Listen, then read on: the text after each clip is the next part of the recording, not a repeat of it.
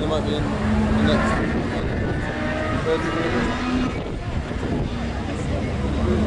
Somewhere.